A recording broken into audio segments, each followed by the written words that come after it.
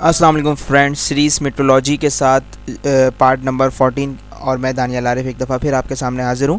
और फाइनली वो वक्त आ गया जब हमने तकरीबन मोस्टली अपने लेक्चर्स जो हैं वो कंप्लीट किए हैं और अब आज से दो से तीन दिन बाद जो है इंशाल्लाह हमारा टेस्ट है। उम्मीद करते हैं कि सबका टेस्ट अच्छा जाएगा। उन तमाम लेक्चर्स जो हमने रिकॉर्ड करवाए हैं, उनके बेस पर मैंने 50 इंपॉर्टेंट एम सी यहाँ पर कंपाइल किए हैं, जो मैं आपको रीज़न्स के साथ उनको सॉल्व करना सिखाऊँगा। तो students number first is the most abundant gas in the atmosphere by volume is dash abundant का मतलब होता है ज़रूरी। हमारे एटमॉस्फेयर में सबसे ज़्यादा ज़रूरी गैस कौन सी है? बाय वॉल्यूम और next thing is the this gas comprise seventy eight percent of the earth atmosphere by volume इसमें एक हिंट दी गई है कि हमारे अर्थ का जो एटमॉस्फेयर है बाय वॉल्यूम उसमें सेवेंटी एट परसेंट जो है, जो भी गैस यहाँ पर आनी है, उसका उसमें सेवेंटी एट परसेंट वो मौजूद होती है। तो इसके लिए मैंने आपके सामने एक डायग्राम रखी है और डायग्राम में क्या शो हो रहा है?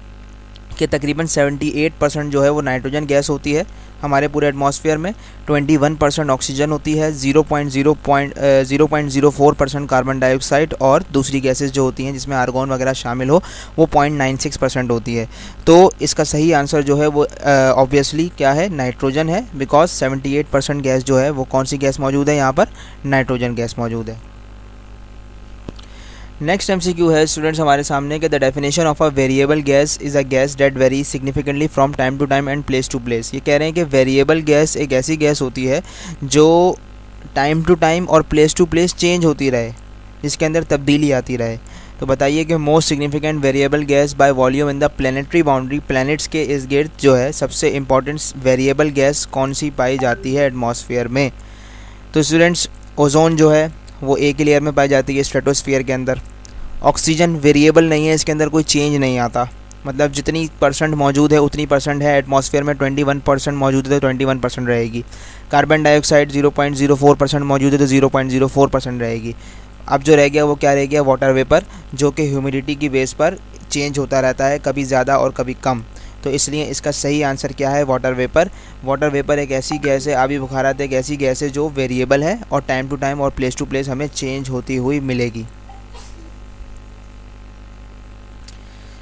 थर्ड एम सी क्यू है हमारे पास an isobar is a line of constant dash isobar एक लाइन है, किस चीज़ की, किस कांस्टेंट चीज़ की लाइन होती है? तो आपको बताता चलूँ कि जो हम जो मैपिंग होती है प्रोडिक्शन के लिए, उसमें ये जो लाइन्स होती हैं, ये वो लाइन्स होती हैं जो इक्वल प्रेशर को ज्वाइन करती हुई जा रही होती हैं। 996 M B nine ninety six M B nine ninety six M B thousand M B thousand M B thousand M B तो ये जो लाइंस होती हैं, इनको हम आइसोबार कहते हैं और ये जो हैं, ये प्रेशर्स हैं, ठीक है?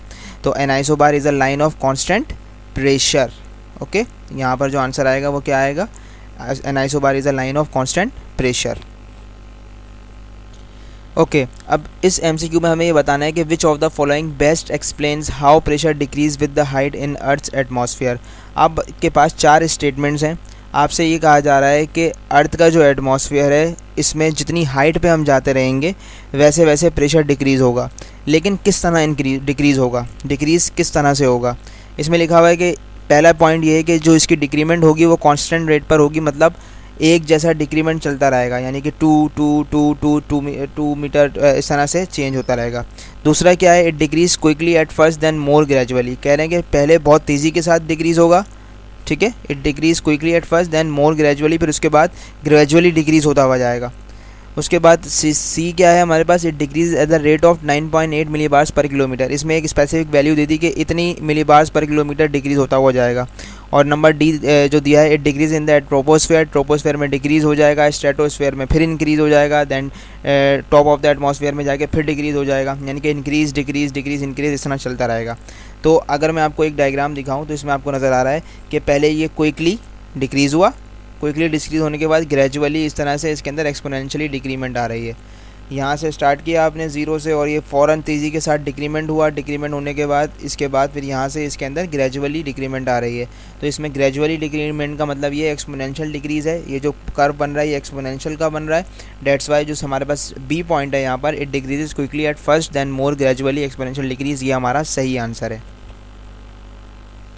नेक्स्ट जो हमारे पास एमसीक्यू है, उसमें यह पूछा जा रहा है कि the seasons of spring summer winter and fall are a direct result of which phenomena जो सीजन्स बनते हैं हमारे अर्थ पर स्प्रिंग आता है समर आता है विंटर आता है और फॉल आता है, ये किस चीज़ की, किस चीज़ का रिज़ल्ट है? कौन से फिनोमिना का रिज़ल्ट है? तो सबसे पहले आपसे कहा जा रहा है कि सूरज की रोशनी का जो आउटपुट है, वो and the earth proximity to the sun shifting of ocean currents ocean के अंदर चेंज आता है. The 23.5 degree tilt of the earth from vertical earth जो है वो स्ट्रेट नहीं है, बल्कि 23.5 डिग्री पर टिल्ट है और last is the jet stream तो इसके लिए मैं आपको एक डायग्राम दिखाता हूँ. आप ये देख रहे हैं.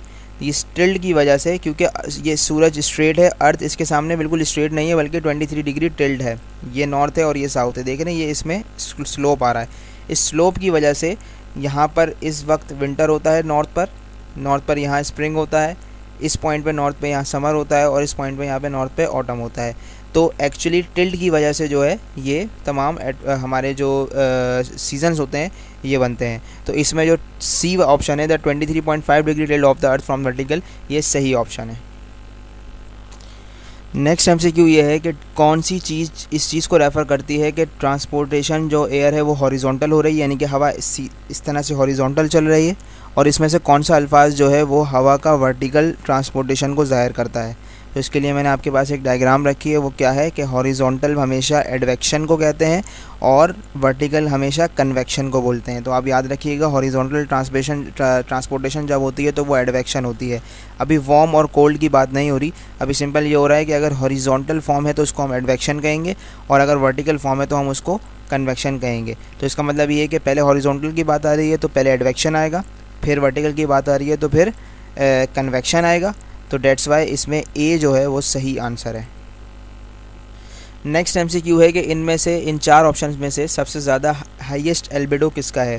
तो दस more reflected solar radiation albedo क्या चीज़ होती है? एल्बेडो होता है कि किसी भी चीज़ पर अगर सोलर रेडिएशन पड़ रही है तो रेडिएशन पड़ने के बाद वो कितनी ज़्यादा रिफ्लेक्टेड रेस को वापस रिफ्लेक्ट करेगी, वापस अपने पास से रिफ्लेक्ट कर देगी। तो जो सबसे ज़्यादा रिफ्लेक्ट करता है, उसके सबसे ज़्यादा हाइएस्ट एल्बेडो होता है, और जो सबसे कम रिफ्लेक्ट करेगा, उसका कब सबसे कम एल्बेडो होगा। तो आपके सामने एक चार्ट है, जिसमें सबसे हाइएस्ट एल्बेडो जो है, वो फ्रेश स्नो का होता है। उसके उसके नीचे थिक वाटर क्लाउड्स का होता है, उससे नीचे थिन आइस क्लाउड्स का होता है, फिर आइस का, फिर सैंड का, फिर ग्रासी फ़ील्ड का, फिर ड्राई पावर प्लोट फ़ील्ड का, फिर वाटर का और फिर हार्डवुड फॉरेस्ट का। तो सबसे ज़्यादा हाईएस्ट एल्बेडो जो है वो किसका है? फ्रेश स्नो का। डेट्स वाई यहाँ पर जो सही ऑप्शन है हाईएस्ट एल्बेडो के लिए वो क्या है? फ्रेश स्नो यानी कि ऑप्शन नंबर ए नेक्स्ट जो हमारे पास एम में आपसे इसमें पूछा जा रहा है कि बताइए इनमें से कौन सी ऐसा लफ्ज़ है ऐसी चीज़ है जो क्लाइमेट के कंट्रोल के तौर पर का, काम नहीं करता। यानी कि जिसकी वजह से क्लाइमेट को हम नहीं जताते। मतलब जो इनमें से कोई चारों में से कोई एक ऐसा अल्फाज है जिसका क्लाइमेट से कोई लेना देना नहीं है। तो इस हवाले से मैंने आपके लिए एक चीज़ निकाल के रखी है और इसकी लो एब्रीवेशन होती है L O W E R lower lower for L से लेटीट्यूड ओ से ओशन करंट्स डब्ल्यू से wind and air masses E से एलिवेशन और आर से रिलीफ तो इन पाँचों के अलावा यहाँ पर जो भी वर्ड है, वो एक्चुअली क्लाइमेट का हिस्सा नहीं होता. तो ऑब्वियसली यहाँ पर डेली वेदर जो है, वो इसका हिस्सा नहीं है. लेटीट्यूड मौजूद है. ये एल्टीट्यूड जो है, ये एलिवेशन इसका मतलब एक ही होता है. ओशन करंट्स यहाँ मौजूद हैं. विंड एंड एयर मासेज और रिलीफ यहाँ मौजूद नहीं है. तो एक ही चीज़ रह गई जो कि डेली वेदर है, जो कि not a primary control of climate है. डेट्स वाई यहाँ पर डेली वेदर आंसर सही करेक्ट लगेगा. नेक्स्ट एम है हमारे पास water has a dash heat capacity water के पास कौन कैसी हीट कैपेसिटी है? लो या हाई अच्छा हीट कैपेसिटी का मतलब क्या है? एक ऐसा this means a large amount of energy is needed to raise the temperature of water relative to other substance अच्छा सबसे पहले मैं आपको बताऊँ कि हीट कैपेसिटी क्या होती है। हीट कैपेसिटी और थर्मल कैपेसिटी हीट कैपेसिटी भी कह सकते हैं या थर्मल कैपेसिटी भी कह सकते हैं। ये एक फ़िज़िकल प्रॉपर्टी है किसी भी मैटर की और इसको कैसे डिफाइन करते हैं कि कितना अमाउंट ऑफ़ हीट जो है उसको सप्लाई करना पड़ेगा उसके अंदर टेम्परेचर को चेंज करने के लिए। कितना अमाउंट ऑफ़ हीट हमें सप्लाई करना पड़ेगा कि उसका टेम्परेचर चेंज हो जाए। तो वाटर का टेम्परेचर चेंज करने के लिए हमें ज़्यादा जो है, वो हीट के ज़्यादा हीट देनी पड़ती है। This means a large amount of energy is needed large amount of energy is needed का मतलब क्या है कि उसकी हीट कैपेसिटी क्या है? काफ़ी ज़्यादा है। क्यों? क्योंकि उसकी उसको सबसे ज़्यादा अमाउंट ऑफ़ एनर्जी देनी पड़ती है ताकि उसका टेम्परेचर बढ़ सके। तो जिसका, जिसको ज़्यादा एनर्जी देनी होगी उसकी हीट कैपेसिटी ज़्यादा होगी और जिसको कम एनर्जी देने पर जल्दी से वो टेम्परेचर बढ़ जाएगा, उसकी हीट कैपेसिटी कम होगी। तो वाटर के आगे तो उन्होंने लिखा हुआ है कि भाई इसको जो है large amount of energy needed होती है डेट्स वाई यहाँ पर क्या आएगा? हाई हीट कैपेसिटी आएगा। ऐसे कोई भी मैटर जो कि हाई जिसको जिसका टेम्परेचर बढ़ाने के लिए हमें ज़्यादा एनर्जी बढ़ानी होती है, ज़्यादा टेम्परेचर ज़्यादा ज़्यादा हीट एनर्जी देनी होती है उसका ही उसकी हीट कैपेसिटी जो है वो काफ़ी ज़्यादा होती है। नेक्स्ट आपसे कहा गया है कि one degree temperature change on the Fahrenheit scale is equal है dash degree change on the Celsius scale अगर फ़ारेनहाइट में एक डिग्री चेंज होगा तो बताइए सेल्सियस स्केल में कितने डिग्री चेंज होगा? फेरानाइट और सेल्सियस स्केल और कैलविन स्केल इनके बारे में मैंने एक वीडियो अच्छी सी डिटेल बनाई हुई है हमारी मीटोलॉजी की सीरीज़ में। अगर आपको याद नहीं है तो आप उसको रिवाइज़ करें। फिर भी मैंने आपकी जो है याद दानी के लिए यहाँ पर कुछ हिंट्स दी हुई हैं कि सेंटीग्रेड में सौ डिग्रीज़ होते हैं ज़ीरो टू हंड्रेड और फेरानाइट में जो है वही सौ डिग्री जो है वो वन एटी डिग्रीज़ के बराबर होते हैं। तो जब हम इन वन एट्टी को वन हंड्रेड से डिवाइड करेंगे तो हमारे पास रेशियो आता है वन पॉइंट एट तो डेट्स वाई यहाँ पर वन पॉइंट एट जो है वो सही आंसर है। Okay, next is which of the following fronts generally has the smallest slope and is associated with the light to moderate and wide speed precipitation? अच्छा जनाब, जब फ्रंट्स की बात आएगी ना तो आपने यहाँ पर सिर्फ़ यही देख लेना है कि यहाँ पे किसकी बात हो रही है स्मॉलेस्ट स्लोप की। तो मैंने फ्रंट्स पर एक अच्छी खासी बहुत डिटेल में वीडियो बनाई हुई है। वो I think part number thirteen या पार्ट नंबर ट्वेल्व है इस सीरीज़ का, वो आप देखें तो आपको समझ में आएगा कि स्मॉलेस्ट स्लोप किस तरह से होते हैं और फ्रंट्स क्या चीज़ होते हैं। तो ऑब्वियसली बात है कि कोल्ड फ्रंट और फॉर्म फ्रंट के दोनों के दरमियान अगर देखा जाए तो स्मॉलेस्ट स्लोप जो है वो वार्म फ्रंट का होता है तो ऑब्वियसली यहाँ पर जो सही ऑप्शन लगेगा वो वॉम फ्रंट लगेगा। अगर आपसे कहा जाता है कि बताइए हाईएस्ट स्लोप दोनों में से किसका है तो आप वार्म नहीं, बल्कि कोल्ड फ्रंट लगाते नेक्स्ट आपसे एमसीक्यू पूछा गया है कि जियोस्ट्रॉफिक विंड जो होती हैं, एक खास किस्म का नाम है geostrophic wind is a balance of the pressure gradient force and the dash force ये एक्चुअली बैलेंस है किसके दरमियान? प्रेशर ग्रेडियंट फोर्स के दरमियान और एक खास किस्म की फोर्स के दरमियान। तो याद रखिए कि प्रेशर ग्रेडियंट फोर्स और कोरियोलिस फोर्स इन दोनों के दरमियान कोरियोलिस फोर्स और प्रेशर ग्रेडियंट फोर्स के दरमियान जब बैलेंस बनता है तो ऐसी विंड्स को हम क्या कहते हैं? जियोस्ट्रॉफिक विंड कहते हैं। कोरियोलिस फोर्स आपको पता है कि वो क्या करती है? अपना पाथ इस तरह से चेंज करती है। लेकिन जो प्रेशर ग्रेडियंट फोर्स होती है, उसको वो धकेल देती है। डेट्स वाई ये विंड जो है, ऐसे जाने के बाद ऐसे सीधी स्ट्रेट हो जाती है और ऐसी हवाओं को हम क्या कहते हैं? जियोस्ट्रॉफिक विंड कहते हैं और ये अमूमन 504 एमबी प्रेशर पर प्रेशर के एटमॉस्फेयर में पाई जाती हैं। तो याद रखिएगा जियोस्ट्रॉफिक विंड एक्चुअली बैलेंस है किसके दरमियान? पी यानी कि प्रेशर ग्रेडियंट फोर्स और सीएफ यानी कि कोरियोलिस फोर्स के दरमियान। नेक्स्ट एम आपके पास ये है कि बद अगर आप अर्थ को ऊपर नॉर्थ पोल की तरफ़ से देख रहे हैं और अर्थ रोटेट्स हो रही है तो बताइए किस तरह से अर्थ रोटेट होगी क्लॉकवाइज या काउंटर क्लॉकवाइज और इसमें आपको जो है एक क्ल्यू दिया गया है कि जो सनराइज़ होता है वो ईस्ट से होता है और सेट्स जो होता है वो वेस्ट पे होता है, यानी कि सूरज जो सूरज जो निकलता है वो ईस्ट से निकलता है और सूरज का जो गुरूब होता है वो किसमें होता है वेस्ट में होता है। तो सिंपल आपने क्या करना है, ये आपके पास अर्थ है। आप जब यहाँ नॉर्थ पोल से ऊपर से खड़े होकर देखेंगे तो आपको नज़र आएगा कि अर्थ एक्चुअली इस तरह से इधर घूम रही है। तो ये क्लॉकवाइज के उलट घूम रही है। घड़ी कैसे घूमती है? इस तरह से। जबकि ये कैसे घूम रही है? इस तरह से, जब आप टॉप पे से देखेंगे। तो ये काउंटर क्लॉकवाइज है। तो डेट्स वाई काउंटर क्लॉकवाइज सही आंसर है। अगर इस जगह नॉर्थ नॉर्थ की जगह साउथ लिखा होता तो आप काउंटर क्लॉकवाइज की जगह क्लॉकवाइज लिखते। ठीक है? तो जब अर्थ को आप नॉर्थ पोल की तरफ़ से देखते हैं तो वो आपको काउंटर क्लॉकवाइज घूमती हुई नज़र आएगी। और जब अर्थ को आप साउथ की तरफ़ से देखेंगे तो वो आपको क्लॉकवाइज घूमती हुई नज़र आएगी। मैंने याद दहानी के लिए यहाँ पर एक कंपास बना दिया, जिसमें आपको पता है नॉर्थ ऊपर साउथ यहाँ ईस्ट राइट पे और वेस्ट लेफ़्ट पे होता है। आपने ये बात हमेशा याद रखनी है। ठीक है?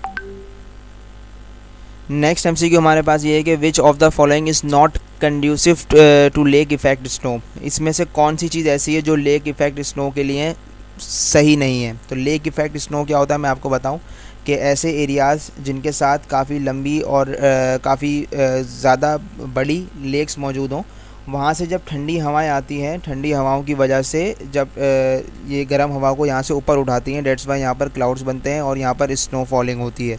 तो ऐसी स्नो फॉलिंग जो इस लेक की वजह से हो रही है, बहुत आसान अल्फाज में बता रहा हूँ, इसमें मैं ज़्यादा डिटेल में नहीं जा रहा। तो ऐसी स्नो फॉलिंग को हम कहते हैं लेक इफ़ेक्ट स्नो अब लेक इफ़ेक्ट स्नो में जो है, वो क्या है? कॉन्टीनेंटल पोलर पोलर का मतलब ठंडी हवाएँ तो ये तो यहाँ पर मौजूद हैं, ठीक है? Orographic orographic lifting and frictional convergence वो भी यहाँ पर जो है, वो क्या है मौजूद हैं।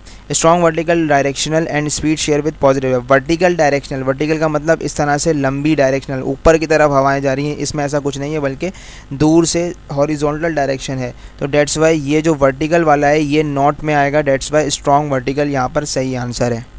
अगर आपको ज़्यादा प्रॉब्लम हो तो थोड़ा सा आपने गूगल पे what is lake effect snow इस लेक लेक इफ़ेक्ट स्नो के बारे में थोड़ा बहुत पढ़ना है तो आपको इसके बारे में अंदाज़ा हो जाएगा। नेक्स्ट एमसीक्यू हमारे पास ये है कि this is the type of fog that forms on nights nights में, ऐसी फॉग जो नाइट्स में बनती हैं। तो मैंने आपके सामने यहाँ पर छः टाइप्स ऑफ़ फॉग की एक डायग्राम बनाई है। इसमें आपको नज़र आ रहा है कि नाइट में होने वाली रेडिएशन फॉग है। तो ऑब्वियसली यहाँ पर रेडिएशन फॉग जो है, सही आंसर होगा। लेकिन थोड़ा सा वर्बली से बताता जाऊँ एडवेक्शन का मतलब हॉरिजॉन्टल होता है। डेट्स वाई ऐसे हॉरिजॉन्टल वार्म एयर की वजह से जो फॉग बनती है, उसको हम एडवेक्शन फॉग बोलते हैं। आर्किटिक सीक पर स्मोक जो बनता है आ, किसकी वजह से वार्म वाटर की वार्म वाटर होता है जब गर्मी होती है तो उसकी वजह से जो है स्मोक बनता है उसकी उस उस फॉग उस फॉग को हम कहते हैं स्टीम फॉग अब स्लो फॉग कैसे बनता है? आपने शुरू में एडियाबेटिक प्रोसेस पढ़ा था कन्वेक्शन चीज़ पढ़ी थी तो उस मामला में जो भी फॉग बनता है उसको हम कहते हैं अब स्लोप फॉग क्योंकि इसमें स्लोप बन रहा है। फ्रंटल फॉग जो है, वो rain reduce fog induce fog या एवाबरेटिंग कूलिंग होती है और आइस फॉग जो है, वो बहुत ज़्यादा ठंडी हवा जब हो और वहाँ से कोई जेट इंजन वगैरह गुजरे तो उसकी वजह से जो मॉइस्चर क्रिएट होता है, उसको हम आइस फॉग कहते हैं। इस एमसीक्यू में जो है नाइट की बात हो रही है तो आपने बगैर बगैर कुछ सोचे समझे सिंपल रेडिएशन फॉग के बारे में लिख देना है। अगर आपको ये चाहत हो कि आपको ये पता करना है कि फॉक क्या चीज़ होती है तो इस पर मैंने एक लेक्चर बनाया हुआ है, द इंपॉर्टेंट टर्म्स, उसको आप जाके देखिए तो फॉक के बारे में मैंने वहाँ पर अच्छे तरीके से डिफ़ाइन किया हुआ है। नेक्स्ट एम ये है कि इसमें से बताइए कौन सा रीज़न है which of the following reason explains why the stratosphere is absolutely stable इन चारों में से वो कौन सा रीज़न है जिसकी वजह से स्ट्रेटोस्फियर जो है वो एब्सोल्युटली स्टेबल है, ऊपर नीचे नहीं होती उसमें की रेडियस में कोई चेंज नहीं आता। इसकी क्या वजह है? Air temperature temperature are too cold पहली वजह ये लिखी हुई है कि यहाँ पर एयर टेम्परेचर जो है वो काफ़ी ठंडा होता है। दूसरी वजह लिखी हुई है air pressure is too low air pressure जो है वो काफ़ी लो होता है। तीसरी वजह ये लिखी हुई है the absorption of radiant energy by ozone ozone की वजह से रेडियंट एनर्जी जो है वो एब्जॉर्ब हो जाती है। और लास्ट वजह जो है वो the wind speed strong too strong wind की जो स्पीड होती है वो काफ़ी ज़्यादा स्ट्रॉन्ग होती है। प्रेशर बहुत ज़्यादा लो जाने की वजह से या टेम्परेचर बहुत ज़्यादा ठंडे हो जाने की वजह से या फिर विंड स्पीड बहुत ज़्यादा बढ़ जाने की वजह से कहीं पर भी स्टेबिलिटी का ज़िक्र नहीं होता। स्टेबिलिटी सिर्फ़ इस वजह से होती है कि वहाँ मौजूद जो ओजोन लेयर है, वो रेडिएशन को एब्जॉर्ब कर लेती है और उसकी स्टेबिलिटी में कोई फ़र्क आने नहीं देती।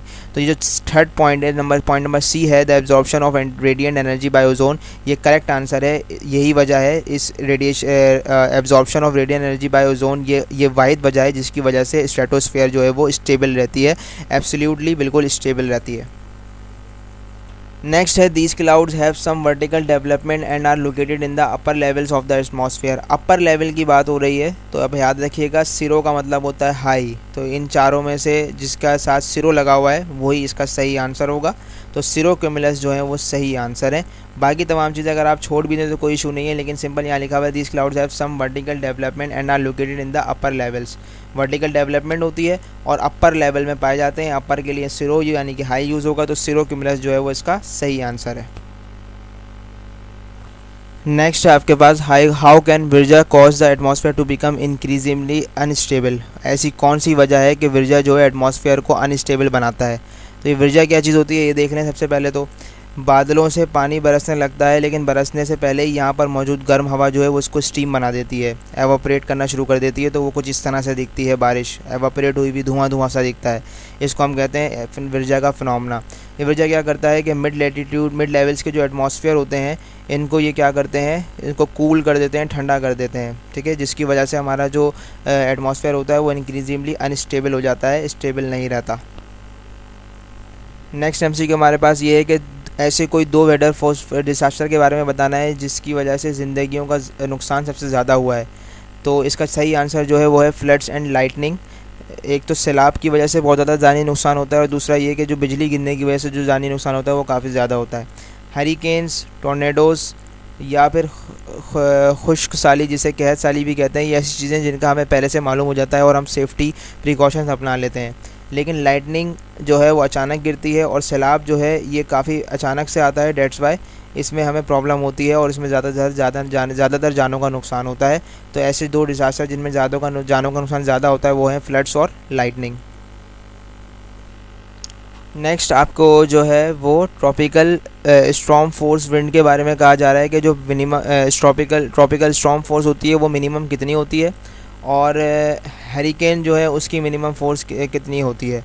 तो ट्रॉपिकल स्ट्रॉ इसके लिए मैंने एक लेक्चर बनाया हुआ है जिसमें आपके सामने है कि जो ट्रॉपिकल साइक्लोन्स होते हैं, उनकी कम अज़ कम 39 माइल्स पर आवर होती है, ठीक है?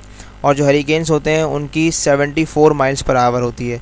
तो यहाँ पर 39 और 74 जो है वो यहाँ लिखा हुआ है डेट्स वाई सी पॉइंट जो है वो बिल्कुल सही पॉइंट है। अगर आपको हरिकेन ट्रॉपिकल स्ट्रॉम्स के बारे में पढ़ना हो तो आप मेरे लेक्चर्स में पढ़ सकते हैं, जिसमें मैंने साइक्लोन को अच्छी तरह से डिफ़ाइन किया हुआ है। Next is in most clouds to ground lightning strikes the ground tends to be dash charge जब ग्राउंड पर लाइटनिंग होती है, यानी कि बिजली जब ग्राउंड पर गिरती है तो बिजली ग्राउंड पर बिजली गिरने की वजह क्या होती है? ग्राउंड किस चार्ज के साथ चार्ज होता है? पॉजिटिव के साथ कि नेगेटिव के साथ? तो आपने याद रखना करंट जो बिजली होती है, उसके अंदर इलेक्ट्रॉन्स होते हैं, यानी कि बहुत ज़्यादा नेगेटिव चार्जेस होते हैं। तो नेगेटिव चार्ज पॉजिटिव चार्ज की तरफ़ अप्रोच करते हैं, उनको अट्रैक्ट करते हैं। डेट्स वाई ग्राउंड के ऊपर जो है वो पॉजिटिव चार्ज होना लाजमी है। जब पॉजिटिव चार्ज होता है किसी जगह पर तो आसमान से जो नेगेटिव चार्ज वाली इलेक्ट्रिसिटी होती है, वो ग्राउंड पर गिरती है। तो जब भी बिजली ग्राउंड पर गिरेगी तो आप समझ जाएँ कि उस ग्राउंड पर बहुत ज़्यादा पॉजिटिवली चार्ज मौजूद है। ओके नेक्स्ट जो हमारे पास मौजूद है एम सी में कहा है कि जो वर्ल्ड्स के डिज़र्ट हैं, उसमें सबसे ज़्यादातर जो है वो कौन से रीजन में पाए जाते हैं? नॉर्थ और साउथ इक्वेटर के नॉर्थ और साउथ पर इक्वेटर के, या फिर ट्रॉपिक ऑफ़ कैप्रिकॉन और कैंसर के कोस्ट रीजन में, या फिर सिक्सटी डिग्री नॉर्थ और सिक्सटी डिग्री साउथ पर, या फिर east coast of most continent ज़्यादातर बर आदम के ईस्ट कोस्ट पर मौजूद होते हैं। इसके लिए मैंने आपकी एक डायग्राम बनाई है। आप अगर देखें तो यहाँ पर इक्वेटर जो है वो उसके नॉर्थ और साउथ की तरफ़ रीजन्स पर ज़्यादा मौजूद हैं।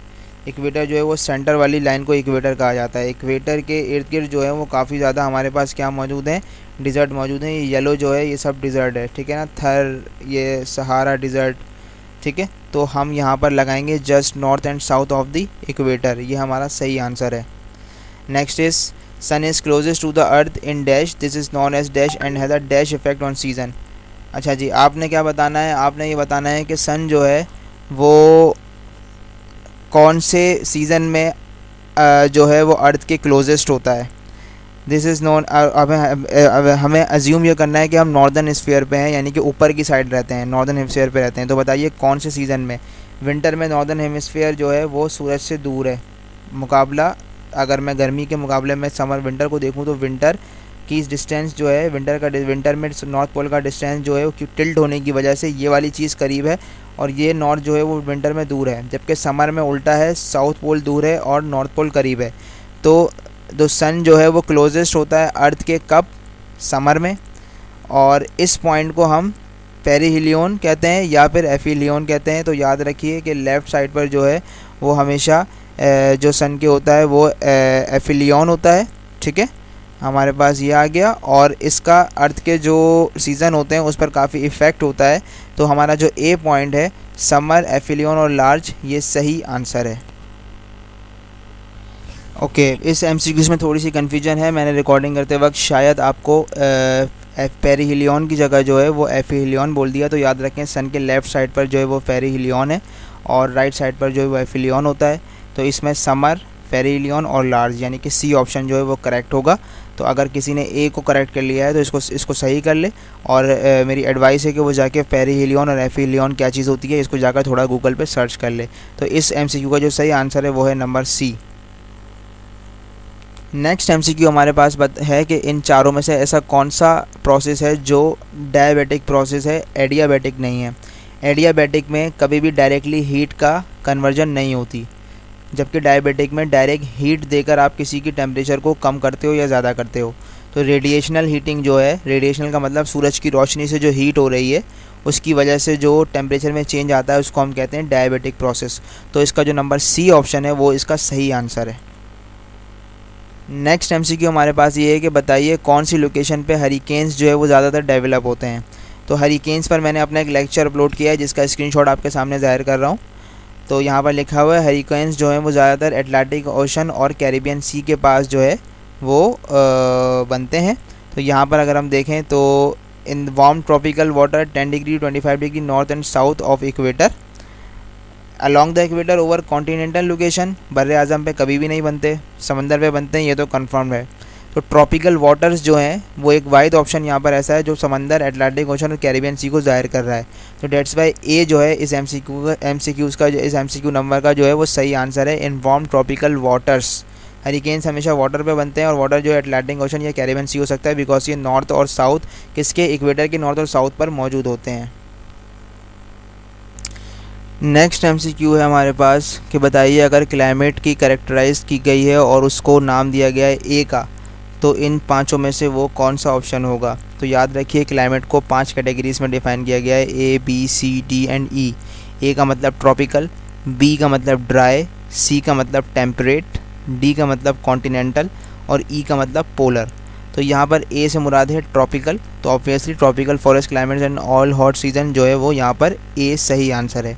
अगर यहाँ पर ड्राई क्लाइमेट की बात की होती तो यहाँ पर ए की जगह क्या होता? बी होता. अगर वार्म टेम्परेट की बात की गई होती तो यहाँ पर सी होता। अगर cold forest climate with severe winters तो यहाँ पर डी होता और लास्ट हमारे पास है पोलर क्लाइमेट तो यहाँ पर ई e होता। ठीक है स्टूडेंट्स नेक्स्ट एम है हमारे पास। Climate is a function of बताइए क्लाइमेट किन किन चीज़ों से मिलकर बनता है? Latitude altitude continentally ocean currents या फिर ऑल ऑफ़ दी अबव तो ऑब्वियसली सी बात है कि लेटीट्यूड क्लाइमेट के लिए चाहिए एल्टीट्यूड क्लाइमेट के लिए चाहिए ओशन करंट्स क्लाइमेट के लिए चाहिए और कॉन्टीनेंटल यानी कि लैंड भी हमें क्लाइमेट के लिए चाहिए तो that's why all of the above इसका सही आंसर है। नेक्स्ट एम है हमारे पास the mid latitude winds in the northern and southern hemisphere flow generally from which direction बताइए नॉर्दर्न और साउदर्न हेमस्फेयर में अगर मिड लेटीट्यूड की विंड्स हैं तो वो किस डायरेक्शन में चलेंगी? तो अब हमें सबसे पहले ये पता करना है कि मिड लेटीट्यूड क्या चीज़ होती है। और नॉर्दर्न साउदर्न हेमस्फेयर क्या होते हैं और वहाँ पे विंड किस तरह से चलती हैं? तो इसके लिए हम बढ़ते हैं एक्सप्लेनेशन की जानब।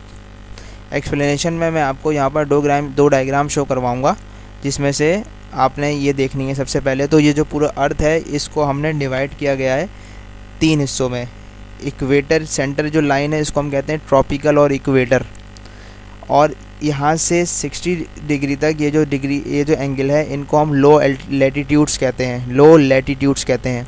इसके बाद यहाँ से लेके अच्छा थर्टी तक और फिर थर्टी से लेके सिक्सटी तक ऊपर और थर्टी से लेके सिक्सटी तक नीचे साउथ और नॉर्थ दोनों में ये जो रीजन होता है, इसको हम कहते हैं मिड लेटीट्यूड और उसके बाद पोल तक जो है, वो हमारे पास हाई एल्टीट्यूड्स कहलाते हैं दोनों रीजन पर। जबकि ये जो लाइंस हैं, इनको हम कुछ ना कुछ कहते हैं। ये जो लाइन है, इसको हम कहते हैं इक्वेटोरियल ये जो लाइन है, इसको हम कहते हैं सब ट्रॉपिकल यहाँ पर जो लाइन आ जाती है, इसको हम सब एक्स सब एक्स्ट्रा ट्रॉपिकल और ये सब पोलर और ये जगह पोलर होती है. ये जो जगहें हैं लाइन के साथ बिल्कुल इनका नाम रखा गया है. ट्रॉपिकल और equator subtropical extratropical subpolar polar tropical पहले सब ट्रॉपिकल फिर एक्स्ट्रा ट्रॉपिकल फिर सब पोलर और फिर पोलर ठीक है? अब आप यहाँ पर अगर देखें तो मिड लेटीट्यूड सेल में साउदर्न हेमस्फेयर नीचे जो जगह है वो साउदर्न हेमस्फेयर है, ऊपर जो है वो नॉर्दर्न हेमस्फेयर है। आपको ये भी पता होना चाहिए कि नॉर्थ यहाँ होता है साउथ नीचे होता है वेस्ट इस तरफ़ होता है और ईस्ट यहाँ पर होता है। तो अगर आप साउदर्न हेमस्फेयर में देखें और मिड लेटीट्यूड में देखें तो विंड्स जो हैं वो ईस्ट की तरफ़ चल रही हैं, ठीक है? और अगर आप यहाँ से देखें इस तरफ़ मिड लेटीट्यूड में तो यहाँ पर भी जो है हवाएँ कहाँ चल रही हैं वेस्ट वेस्टर्लीज चल रही हैं वेस्ट की तरफ़ से चल रही हैं और यहाँ भी वेस्ट की तरफ़ से ईस्ट की तरफ़ जा रही हैं वेस्ट की तरफ़ से ईस्ट की तरफ़ जा रही हैं यहाँ भी वेस्ट की तरफ़ से ईस्ट की तरफ़ जा रही हैं ठीक है ना किस तरफ़ से आ रही हैं वेस्ट की तरफ़ से आ रही हैं और जा किस तरफ़ रही हैं ईस्ट की तरफ़ यहाँ भी वेस्ट की तरफ़ से आ रही हैं और जा किस तरफ़ रही हैं ईस्ट की तरफ़ इसका मतलब ये है कि मिड लेटीट्यूड्स जो होता है वहाँ पर जो हवाएँ होती हैं वो वेस्टर्लीज कहलाती हैं क्योंकि वो वेस्ट की तरफ़ से आ रही होती हैं दोबारा अपने लेक्चर की जानब चलते, अपने एमसीक्यू की तरफ़ बढ़ते हैं और यहाँ देखते हैं कि अब दोबारा क्या लिखा हुआ है, कि बताइए कि मिड लेटीट्यूड में जो विंड होती हैं नॉर्दर्न साउदर्न हेमस्फेयर दोनों में उनकी डायरेक्शन क्या होती है? तो वो वेस्ट की तरफ़ से आती हैं नॉर्दर्न हेमस्फेयर में और जो है दोनों दोनों सूरत हाल में जो है वो दोनों हेमस्फेयर में वेस्ट की तरफ़ से चलती हैं ईस्ट की तरफ़ तो इसका जो बी ऑप्शन है वो करेक्ट ऑप्शन होगा। नेक्स्ट एम सी क्यू है हमारे पास कि मानसून का जो मतलब है क्लाइमेटोलॉजी के मुकाबले क्लाइमेटोलॉजी के मायने में बताइए मानसून का मतलब क्या है? तो मानसून का मतलब होता है साइक्लोन और टाइफोन का बनना तकरीबन सौ मिल माइल्स पर आवर की रफ्तार से ज़्यादा के साथ जो है वो साइक्लोन और टाइफोन जो है हमारे ए, ए, उस रीजन पर आते हैं। तो उस रीजन को हम कहते हैं कि यहाँ पर मानसून अप्लाई हो रहा है। नेक्स्ट एमसीक्यू हमारे पास ये है कि जब आप कंपेयर कर रहे हो मॉइस्चर कंटेंट को किसी दो जगह के दरमियान तो बताइए क्या चीज़ आपने देखनी है? आपको आसानी के पता पता चल जाए कि यहाँ पे मॉइस्चर इतना है और यहाँ पर मॉइस्चर इतना है। तो ड्यू पॉइंट जो है वो एक्चुअली हमें मॉइस्चर बताने के लिए काफ़ी होता है। तो सबसे बेस्ट तरीक़ेकार ये है कि अगर आपने दो जगहों के दरमियान का मॉइस्चर डिफरेंस पता करना है तो आप वहाँ दोनों जगहों का ड्यू पॉइंट मालूम कर लें। अब ये ड्यू ड्यू पॉइंट क्या चीज़ होती है? इसके बारे में मैंने बहुत अच्छे तरीके से जो है वो इंपॉर्टेंट टर्म्स वाले लेक्चर में बताया हुआ है मीटोलॉजी की सीरीज़ में ही। तो आप चाहें तो ड्यू पॉइंट को अच्छी तरह से स्टडी कर सकते हैं और रिवाइज कर सकते हैं। नेक्स्ट हमारे पास एम है। When there is a balance between the upward pressure gradient and the downward force of gravity the atmosphere is said to be in dash balance याद करेंगे, जब अपवर्ड प्रेशर ग्रेडियंट था और डाउनवर्ड कोरियोलिस इफ़ेक्ट था तो दरमियान वाली जो बैलेंस था, उसको हम कहते थे जियोस्ट्रॉफिक अब इस बार अपवर्ड प्रेशर ग्रेडियंट फोर्स ही है, लेकिन डाउनवर्ड क्या है? ग्रेविटी तो इस सूरत हाल में ये बन जाएगी हाइड्रोस्टेटिक बैलेंस ठीक है? अपवर्ड प्रेशर ग्रेडियंट फोर्स है डाउनवर्ड कोरियोलिस इफ़ेक्ट है तो geostrophic upward pressure gradient force है डाउनवर्ड ग्रेविटी है तो हाइड्रोस्टेटिक नेक्स्ट एमसीक्यू में आपसे कहा जा रहा है कि on a NEXRAD velocity display ये खास किस्म का जो है एक रडार है नेक्जार्ड वेलोसिटी डिस्प्ले इसमें अगर एयर अवे जा रही है, आपसे दूर जा रही है तो रडार पे वो किस कलर की दिखेगी?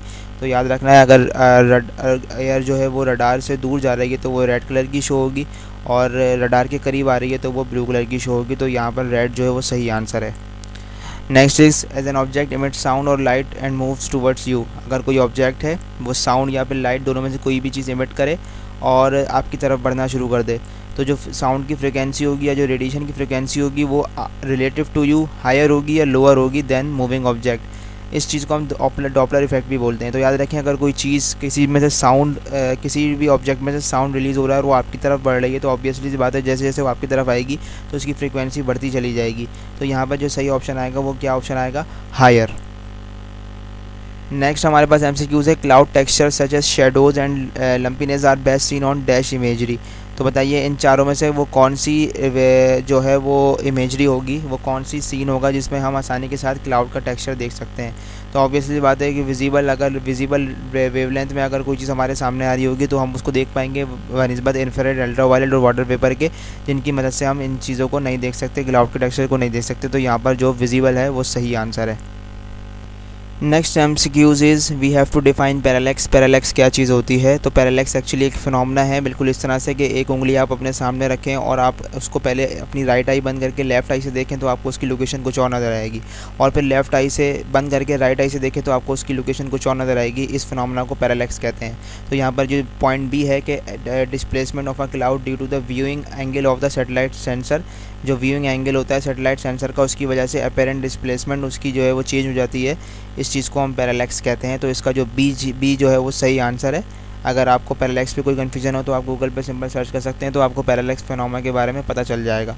आसान चीज़ ये है कि आप अपनी उंगली अपने नाक के सामने रखें और पहले लेफ़्ट आई क्लोज करके राइट आई से देखें और फिर राइट आई क्लोज करके लेफ़्ट आई से देखें। तो दोनों सूरत हाल में आपको क्या होगा? उस उंगली की लोकेशन उस फिंगर की लोकेशन चेंज होती हुई नज़र आएगी। इस फिनोमना को पैरालेक्स कहा जाता है। Next is which weather phenomena would be nearly impossible to observe without the aid of satellite imagery बताइए, इन चारों में से कौन सा ऐसा फ्रामना है जो सेटेलाइट की मदद के लिए बगैर, जिसको ऑब्ज़र्व करना बड़ा मुश्किल है? तो जो लास्ट पॉइंट है इसमें location of a deep ocean hurricane deep ocean में जाना बड़ा आसान बात नहीं है, वहाँ पर, वहाँ तक पहुँचना बड़ा मुश्किल है। तो सेटेलाइट की मदद के बगैर वहाँ का जो वेदर है उसको ऑब्ज़र्व करना काफ़ी मुश्किल हो जाएगा। वहाँ पर जो हरिकेन होते हैं, वहाँ पहुँच डीप ओशन में जाकर हरिकेन का सामना करके उनको ऑब्ज़र्व करना ज़्यादा मुश्किल है बनस्बत इसके कि उसको सेटेलाइट की इमेजरी की मदद से ऑब्ज़र्व किया जाए। Next is the smallest element on a satellite image is called and dash तो जो स्मॉलेस्ट एलिमेंट होता है किसी भी इमेज का वो क्या होता है? तो पिक्सल जो है, वो किसी भी इमेज का सबसे स्मॉलेस्ट एलिमेंट होता है। इसलिए हम कहते हैं कि हमारा जो लेट सपोज़ मोबाइल का कैमरा है, वो टेन मेगा है या एट मेगा है and so on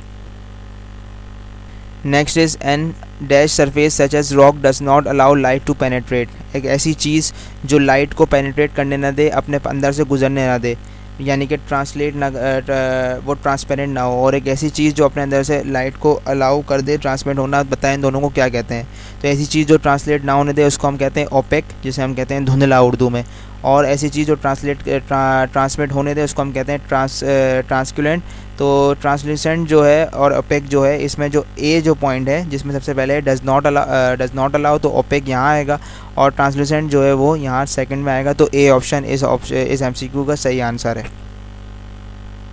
next M C Q इस इसमें से कौन सा टेम्परेचर स्केल जो है जो वो रे, जो रेशियो टेम्परेचर स्केल भी कहलाता है?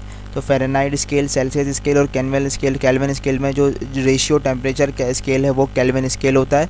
तो इसलिए इस ऑप्शन का सही आंसर जो है वो कैलविन स्केल है। याद रखें, इन तीनों टेम्परेचर स्केल में से सिर्फ़ कैलविन स्केल जो है वो रेशियो टेम्परेचर स्केल कहलाता है।